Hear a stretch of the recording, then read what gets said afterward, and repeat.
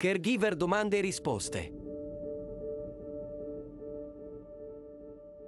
Sono previsti bonus o agevolazioni per l'acquisto di strumenti tecnologici?